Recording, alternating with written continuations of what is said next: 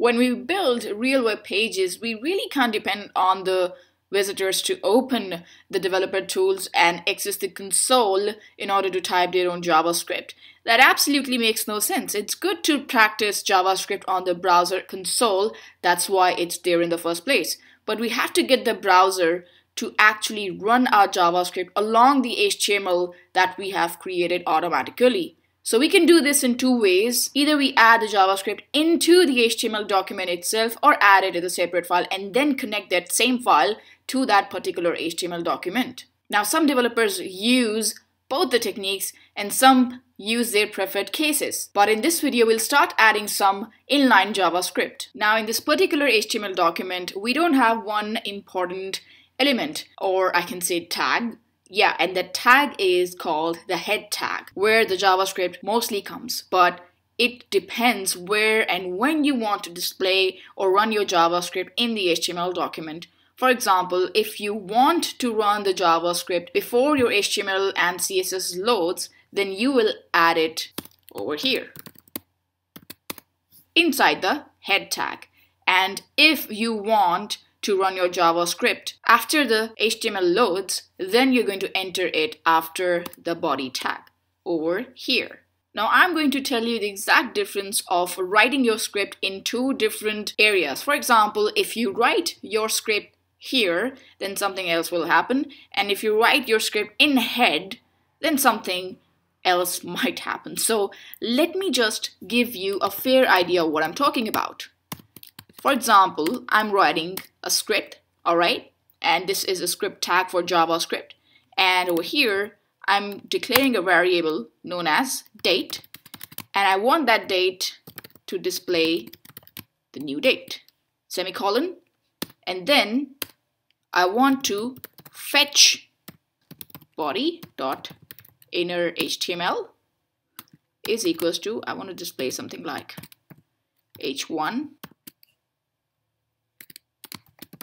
today is similar to what we did with the browser console. Today is plus sign date date plus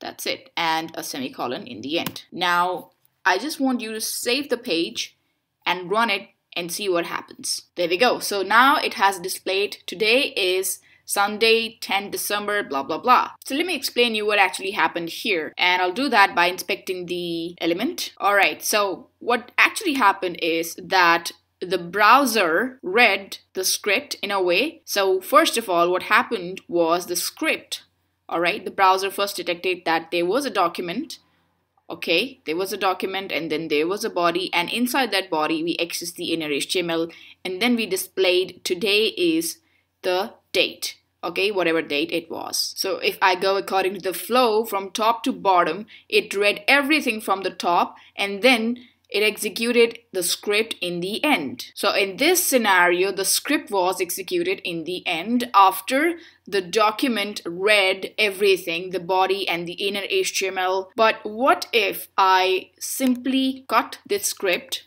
and copy it inside my head tag? Now the results will be different and I'll tell you why. Save it and then run it. Nothing happened. And the reason was, if I go to inspect, it is going to show me there is an error. And let me find out what that error is. So I'm just gonna maximize this. Alright, so uncaught type error cannot set property inner HTML of null at index HTML. What actually happened is that when the script executed, it executed in the beginning. So it didn't have actually the chance of reading the document, the body part, and the inner HTML because we declared it in the beginning in the script tag. So did you get the point? It is actually going against the flow of the document. So what we mostly do is we execute the script in the end or after the body tag because let's say we have to access some elements uh, from the inner uh, from the HTML document itself. So we have to make sure that we go through each of the elements in order to execute them. So in this scenario it didn't happen. The script executed even before it could reach the body tag. So now you know why there is no information or the page here is totally blank. Like there is no information.